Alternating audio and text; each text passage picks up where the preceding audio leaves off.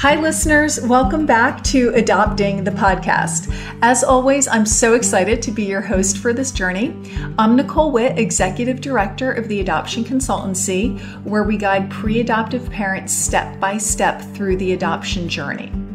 In adopting the podcast, we're going to focus on the issues, questions, and concerns you have as you get started in your adoption journey.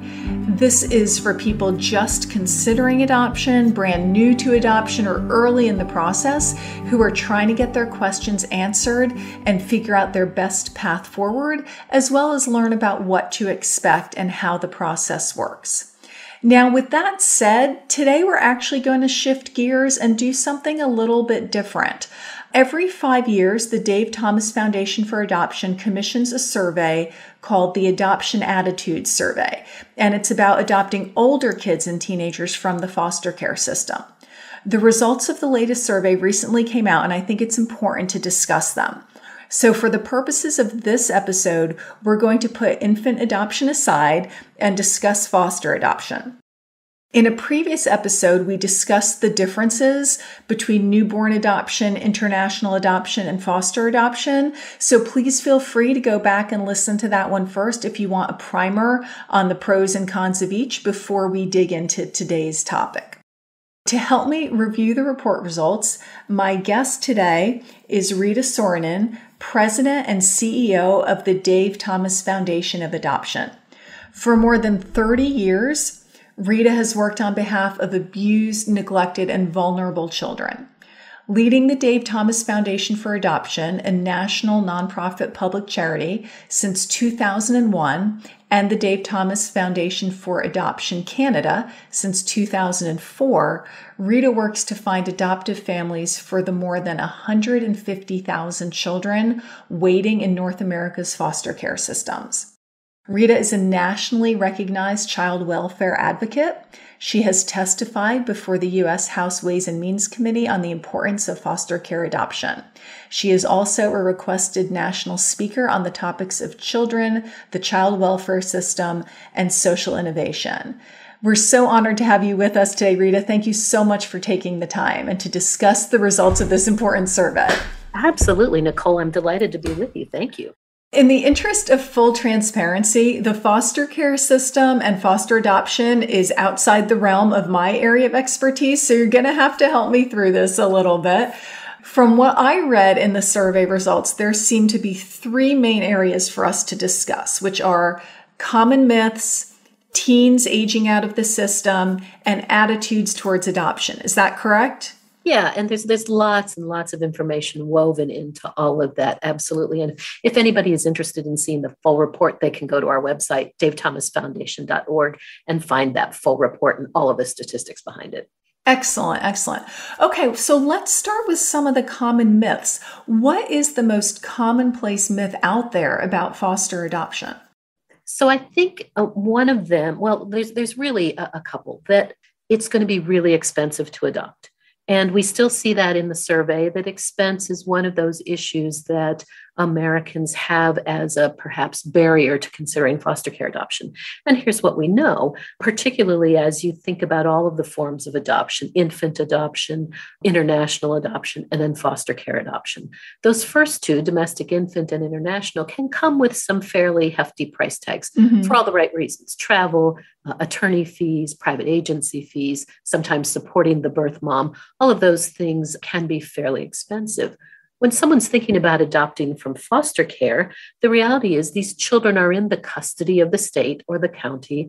And so they cover the majority of those costs, even when it comes to matching a child with a family and moving that child to adoption with a, a family who adopts out of foster care. So there's literally no to very small expenses. So what we say is zero to maybe a thousand dollars. And what that that expense may be is the cost of a home study and those kinds of things. And with foster care adoption, really about 90% or more of the children are there because they're deemed by legal definition special needs.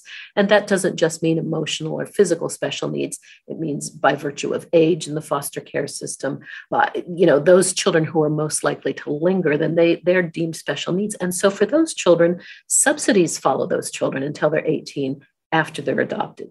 And many states have other kinds of assists. Um, some states have education waivers for uh, secondary education. So there are lots of ways to dispel that myth that it's too expensive to adopt out of foster care. Another one is that I think there is a fear of, of the parents, the, the biological parents, coming back to legally claim these children. And again, that can't happen. When someone adopts from foster care, that child has already been legally through the courts permanently separated from the family of origin. That family no longer has any legal claims to the child. And so they can't come back and um, take the family to court and say, we want our child back. Having said that, I think it's important to consider that, particularly when thinking about older children, and and uh, that doesn't just mean teens, but children that you know remember their family, where they came from, and are still dealing with grief and loss. There are many family members who absolutely can safely be a part of that child's life, and so the adoptive parent may want to consider how they can facilitate those interactions and those connections, and keeping those connections vibrant.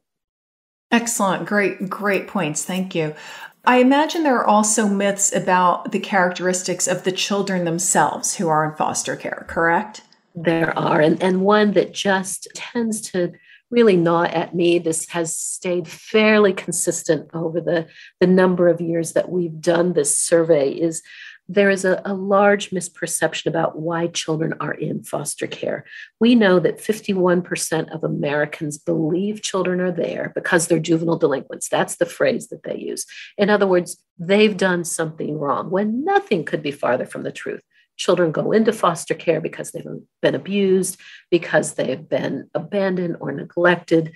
And it takes a, a significant process for the courts to then terminate parental rights, to separate legally that, that child from parent. And so the parent or the child is experiencing grief and loss and the trauma not only of the abuse that, of why they came into care but sometimes those children move frequently while they're in care. And so additional trauma uh, additional experiences while in foster care. And so there may be some behaviors that that child experiences or exhibits. There may be some challenges that they have. But again it's not because they've done something wrong that the court has said oh it, this isn't you know juvenile court. This is a place for a child to be safe and a place for a child, hopefully, to move to an adoptive family. And again, nothing could be further from the truth if folks think that these children are too old, too damaged, too dangerous to live in a family. Yeah, that's that's a really um, tragic myth that's out there. So I'm glad to have the opportunity to start to dispel that. What about myths related to qualifications for adoptive parents? Yeah, and, and you know, we ask, you know, what do you think uh, constitutes a, a, healthy family? And we still have some barriers in thinking that a, a healthy family is one that has, uh, you know, two parent family that are younger, that have extraordinary resources to support that family.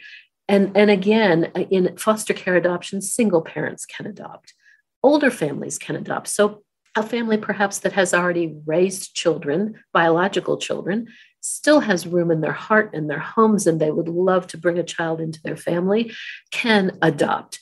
Same sex couples can adopt. You know, there is certainly across religions, there, there are folks can adopt and across races. And so, really, how we think about the diversity of families can reflect the wonderful children who are in foster care who simply need a family. And I think we're beginning to see some, some better sense of that, but there's still some, some large barriers there as we perceive what is a viable family versus really what's a healthy, vibrant, supportive family for a child. Gotcha, gotcha. Okay. Are any other myths you want to talk about before we move on to the next topic? I think those, you know, we, we, we go through and we ask how many children do you think are in foster care? How many children do you think age out of foster care? Those are tough numbers for people to get a grasp on, and we still don't have a solid sense. So it's good to know the baseline statistics that right now in the United States, there are about 410,000 children in foster care. Those children will Hopefully, the majority of those children will go back home. The idea is to make sure that the, the family of origin is safe and supported and has all the resources that they need to rear their children. But for about 117,000 children right now, today, um, those homes were not, could not be made safe. Those families could not support that child. And so 117,000 children are waiting to be adopted. And then each year of those children who are waiting to be adopted, you know, about 15, depending on the year, 15 to 20,000 children turn 18 and leave foster care without a family. So it's it's good to get a sense, I think, in our communities and our states and across the nation, what is the depth of this situation? And we and and we we simply track this. What do people believe about the numbers of kids in care and all of these statistics, so that we can make sure that we're doing a better job at really setting the table of here is the situation in this country now. What can we do to address it?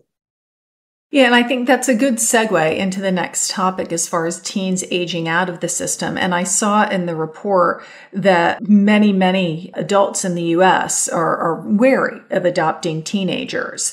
And they don't, I think, realize sort of the implications of what happens when a teen ages out of the system. Could you please speak to that a little bit more? Of course, we we ask, you know, if you're considering adopting, what's your age preference? Uh, and there's still a large default to children age five and younger. 60% of Americans have stated that they would prefer to adopt a child age five or younger. And, you know, we celebrate all kinds of adoptions, make no mistake. I think anytime a family comes together, whether it's an infant adoption domestically or an international adoption, typically with an infant, we celebrate that because we believe every child deserves a family. But for the foster care situation, when the average age of a child waiting to be adopted in foster care is about eight and a half then we know that we've got a lot of kids that are waiting to be adopted.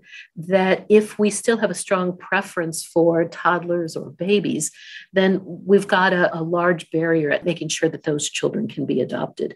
And we know that, again, when we ask the reverse age, only 3% would prefer to adopt a child age 13 or older. So those, those are really strong disparities about we've got older children in care they deserve a family as much as any other child does. And yet, we've got a default, even out of foster care, to younger children. So I think, again, it's about for us and, and others continuing to do a, a, much stronger job at who are these children why are they in care what are their ages and how can you find all of the supports that you might need if suddenly you're thinking about well i, I could bring a teenager into my life but i've got these these challenges you know what will i do to pay for college? How will i support that child who has extended family members that that they may want to stay connected to? How will i deal with any behavioral issues that do pop up? And so we need to do a much better job at making sure that that folks understand the kinds of supports that are available the kinds of issues that could happen but the notion that every child every child deserves a family no matter their age their journey through foster care, how they identify themselves. Any of those factors shouldn't disqualify a child for a family. And the Dave Thomas Foundation does provide a lot of that support and, and training for those families, correct? We do through agencies that we contract with. We have a signature program called Wendy's Wonderful Kids, and we provide grants to organizations across the nation to hire full time adoption professionals who carry caseloads of the longest waiting children in their community. So typically these are older youth, of course, or children in sibling groups, or children with physical or emotional needs. And then we provide the training for those professionals, and those professionals make sure that when they connect with potential adoptive families, that they're providing them the whole menu of resources and support and understanding and training so that that family can feel comfortable adopting that child. So we have an arm's length relationship with families who adopt, but it's through this Wendy's Wonderful Kids program that, yes, we provide training and resources and on our website, all kinds of resources for families that are interested, including a beginner's guide to adoption. What steps can you imagine? What are those steps that happen in the foster care system in order to become a foster parent? in order to become a foster parent to adopt, in order to simply become an adoptive parent from the foster care system. Great, great. And and for the teens who do age out of the system, what are the prospects for them? How does their future tend to play out? not to continue with any kind of negative sheen over these kids. But the reality is, if a child leaves foster care at age 18 without a family, here's what they don't have. They don't have a safety net of a family. So if they make a mistake, if they run out of rent, if their car breaks down, if their job is eliminated, they don't have every opportunity to say hey mom can i can i come back home for a while until i can pick myself back up and i can get established they don't have a home to go to and so children who age out of foster care are much more likely to have negative consequences like homelessness underemployment unemployment undereducation frequently become early parents. Not that that in and of itself is a bad thing, but without that support network around them can be challenging much more likely to fall back into systems from which they came. And not because these are bad kids, but because they don't have that supportive safety net around them that that every you know every other family that has an 18 year old or a 25 year old or sometimes a 30 year old who simply needs to reconnect with family for a minute right in order to get that support that they need to then march forward again so for us at the dave thomas foundation for adoption it's it's really unacceptable that 20,000 children leave foster care without a family every year. And that's why we not only do this, this research, but provide the other programs like Wendy's Wonderful Kids that makes it a, an aggressive and urgent effort at making sure that no child ages out of foster care. Great. Oh, okay. And then moving on to the third key topic, this study showed that attitudes towards foster adoption remain positive. Can you speak to exactly what, what came out? Yeah, and we've seen a really, really good uptick in those numbers. I mean, a statistically significant uptick. And just start with just general consideration of adoption.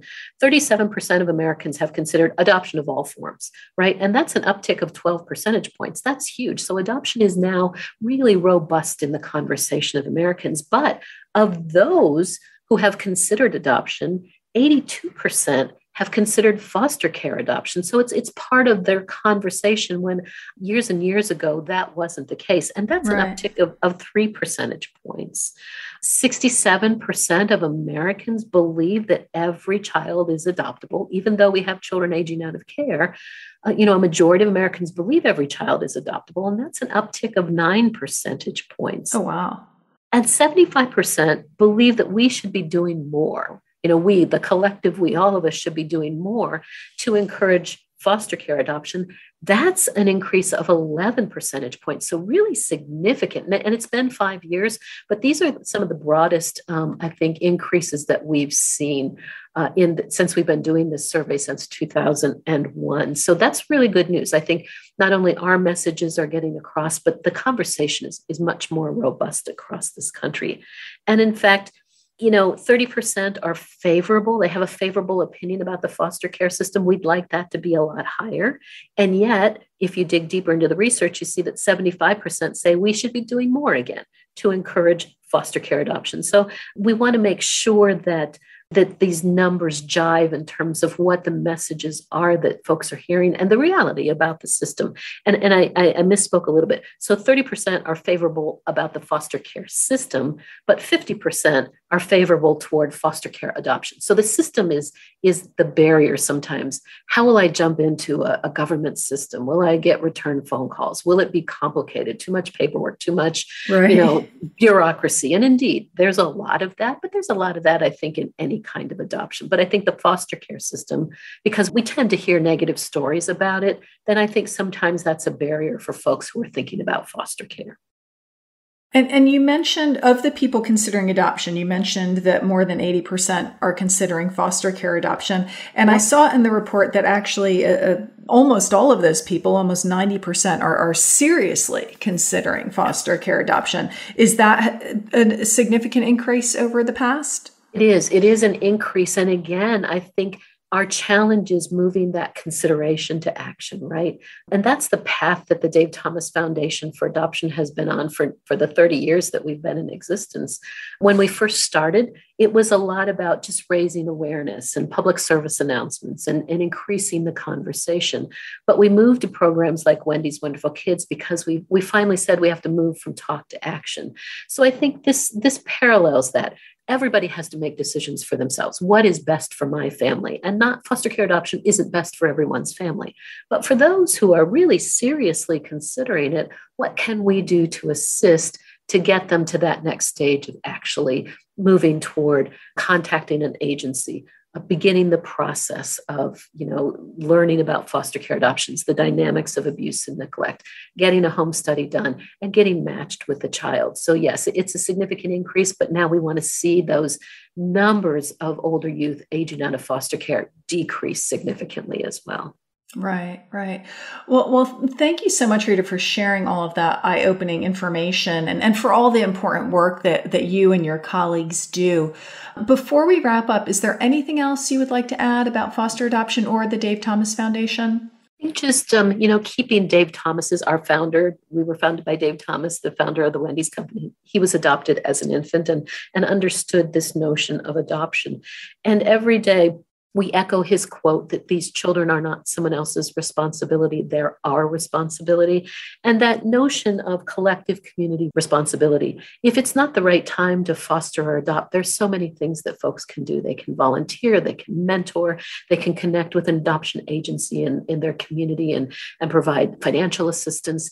You know, I think everybody can take ownership of this cause of making sure that every child has a safe nurturing and permanent home. And again, if folks want to learn more about us or get resources or reach out to us, the best source is davethomasfoundation.org. Great. Yeah. And I think as a society, there are a few things we can do that are more important than that. So, so right. thank you so much for speaking to that and for sharing this most current information with us. Um, again, my guest today has been Rita Soronen, President and CEO of the Dave Thomas Foundation of Adoption. And you can reach her through their website or through her assistant, Marissa, at 614 764 8454. And listeners, most of all, I'd like to thank you for tuning in. I hope you've learned something new today that has either gotten you to consider a different path to adoption than maybe you were considering before, or gotten you to consider just some other way to help these children. Either way, I hope you've had some valuable learning. Please be good to yourselves, take care, and I'll catch you next time.